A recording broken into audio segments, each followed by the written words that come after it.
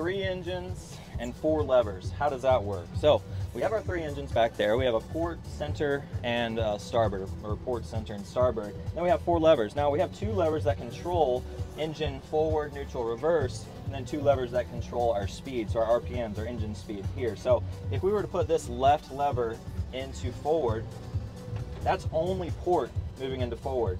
Go back to neutral, left lever into reverse, that's only that port engine in reverse. Then same thing for starboard. So this will control the starboard engine. So that's only starboard and forward, back into neutral, only starboard and reverse. Now, when you put both of these levers in forward, like that, all three engines engage. And same thing with all three in reverse. If you put both levers in reverse, they all three go into reverse. Now, if you split the sticks, only those outside engines are working, okay? The center engine stays in neutral. And then you have this, this is engine speed, engine RPMs for the port and starboard. And then if you have all three in gear, you can speed up. We're in neutral right now, but you can kind of hear the engines growling back there. So that's what those do, four levers and three engines.